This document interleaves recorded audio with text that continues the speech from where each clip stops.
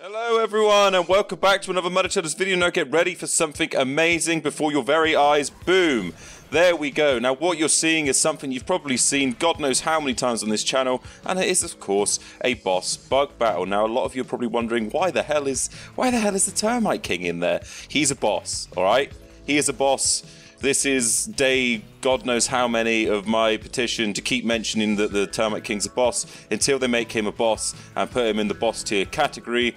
He's a king, god damn it. This is sexism at its finest, and this is what way to start. We've got the Wasp Queen. The Queen gets to, you know, Queen gets to be in there, but not the King. What's going on here? Come on, sort it out. He's a good little boy, he is. But um, anyway, yes, as you've read, as you've read the title, sorry for that intro, you know exactly what's happening here. So, as you may have expected, old infected broodmother over there, she only has one life, and to try and make it as fair as I possibly can for the other bosses, I know it shouldn't be like this because she's supposed to be this good and supposed to absolutely annihilate everything, but because she's so good, I thought I'd try and level it out a little bit more by giving the other bosses multiple lives. So the boss, uh, I use air quotation marks, he's just died, is the one I'm talking about. And another one spawns in his place. It's amazing that that happens. I've set up the spawners, so as soon as one of them dies, another one will spawn. I think the most lives so far is the Termite King, because his health is so little in comparison to the rest of them. He has six lives. I don't have a bias against him. I'm not in love with him. Maybe just a little bit. But the rest of them, I think Schmector, Schmeck, now Schmector and assistant manager. I put two for Schmector, two for assistant manager because they are the um, tag team duo of the century. Uh, the Mant is probably about two or three, if I remember. Wasp Queen is two. There, there we go. There we go. You're going to see it's going to get very, very messy because we're going to have a lot of corpses around. Broodmother regularly thinks about four, so she's sitting around 10,000 HP in total like I, I, say this all the time i know that's not really making it fair because there's different they all have like different thresholds different stat effects they have different damage different defense but to sort all that out is just ridiculous. So i'm just going to stick to one stat and try and make that as even as possible. There's one life down one life down. Oh. Wait what? Oh right i wondered why the the mantis's delayed death there. I was wondering what was going on. I thought i'd messed up somehow but no no, I thought I'd spawn them all in at the same time as well because the randomizer, it's not buggy, but it just doesn't work the way I would have wanted it to. Um, so I've decided to just spawn them in all together. It is a little bit glitchy just because the amount of stuff that's going on here. To be fair, I'm surprised that this little bad boy down here hasn't been knocked out yet, unless he has and another one spawned in his place. I'm not too sure. You're probably thinking, oh Liam, when are you going to stop just spamming out bug battle videos? Uh, it's just added so many different variables to it now. There's so much more to play around with. I know, it, like, I've done this before, but now I can do it on such a larger scale, and there's loads of different things I can mess around with, like giving them multiple lives. And I just sit here, I just sit here having the time of my life watching this all, all go over, making bets on which bug's going to win. I reckon it'll be the Wasp Queen, but you know, and plus it also gives me some time some time to make some other stuff in the background. I know Marcus is making some stuff because he's got the new update and he wants to make some maps for, for myself to play through. I'm working on some stuff as well. I'm trying to get a COD style zombie map working, up and working, round based. Obviously, it's not zombies, it's going to be creatures, but I've tried to replicate a COD Zombies map, make the round based game working with a magic box and everything. It's coming along pretty well so far, but it's a lot of work like in the background. So I'm just doing this to sort of like tie you guys over for now. oh, I didn't realize that. I must have missed that while I was just constantly talking. Is um, oh man, boy down here. He died. He died. But don't worry, there is another one. There is another one. I kind of want to run in to stop all of the bodies piling up. But you see, the thing is, is I can't go any further than this. This is Pete's view currently. You can see the little lever there, which is linked to all the spawners, but there's a there's a blocking area here, so I can't actually go through. To stop them from attacking poor old Pete. Not that they would. Who would want to attack Pete? You know, he's great. He's a good little lad.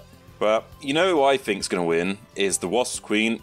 Who do you think is going to win? Who do you think is going to win? People usually do this. Type down below. Type down below and then update with an edit potentially if your prediction was correct, I say Wasp Queen, just because no one can really reach it. So yeah, I'm gonna go for her. Some people might say Mantis. Who knows? Are they starting to spread out a little bit now? Which could mean it goes either way. Oh no, he, he he has he has died. I was about to say the system manager's on a mad one, but no, he's on his last life. Unfortunately, Schmector's still on his his first. I think it is currently Schmector, Wasp Queen that haven't died yet. You know, you let the infected Broodmother off because her first life is only like 2000 HP. She's not the best on her first life, but she gets better. She gets better.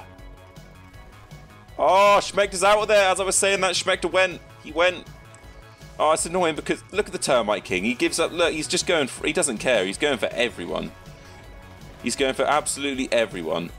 You know, he shouldn't really be put up against these guys, up against the Mantis, and he's still he's knocking him out. His knockout blows is what makes him absolutely lethal. God, the Wasp Queen is going to annihilate everything with that bomb attack, especially if they're all all crowded together like this. I, I don't want to. I want to see the Termite King outlast at least one of them. Hey, that's the thing I don't get as well. The Termite King is, I would say, he's better, and I'm pretty sure he beats the assistant manager. How come the assistant manager's a boss? It's no, I'm not having that. Does does the Termite King respawn? I, I honestly cannot remember. It's been so long since I've played legit and been able to fight him. But from what I remember, he's he only spawns once, like the assistant manager. So he doesn't like naturally spawn. Oh, I guess he does actually naturally spawn, doesn't he? Once he was an absolute king, but now not so much. Not so much. Come on, Termite King. I think this is his last life. Take the Broodmother out. Take out the Broodmother. Yeah, yeah. no. Yes, yes. He's back. He's back. I did do this fairly. I did do this fairly. I swear I did. I didn't just spawn in a load of Termite Kings because I thought, you know, he might have a chance of winning this. I still don't think he has a chance of winning this. So get him. Get him. No, he's knocked out. This is definitely his last life. There's no way he's coming back after this. Get in the fight. Why are you always out here by yourself? You have the most HP out of all of them still, and you're just avoiding everyone. That's it. What is it with these two? Are they like natural spawn enemies? Every time I look down at these two are just going toe to toe with each other. That's it, man. Take over for a bit. Let him heal up. Nah. Knockout.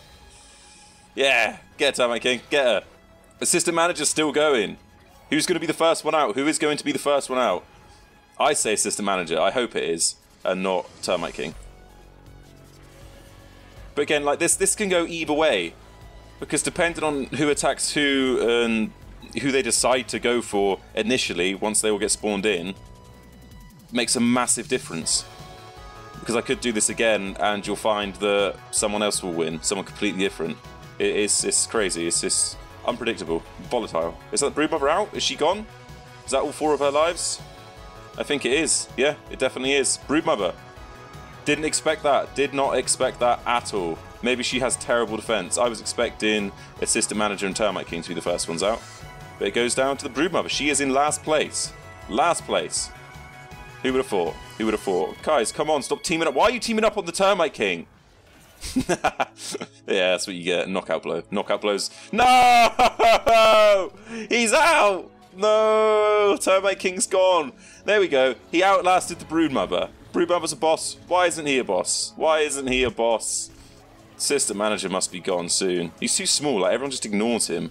Like no one's really threatened by him. Like they feel bad. They just think it's Schmector's son, so they're like, "Oh, I'll leave him alone." Actually, now they're going for him. Look at these two. Ah, oh, he's out. He's gone. He is gone.